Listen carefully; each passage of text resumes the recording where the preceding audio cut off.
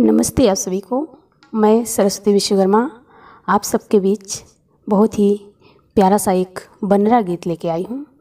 इस गीत की फरमाइश किए हैं आदर्श भैया, जो कृषि शिक्षक हैं शासकीय उच्चतर, शासकीय बालक उच्चतर माध्यमिक विद्यालय मनिगमा के। और इनकी शादी लगभग पाँच साल से लगी हुई है। दस मई को बारात है और इनकी होने वाली पत्नी हैं आंचल जी तो धन्य हैं। पाँच साल से लगी हुई है शादी और होने वाली है। किसी की एक साल भी नहीं टिकती है। शादी अगर लगी तो सट हो जाती है।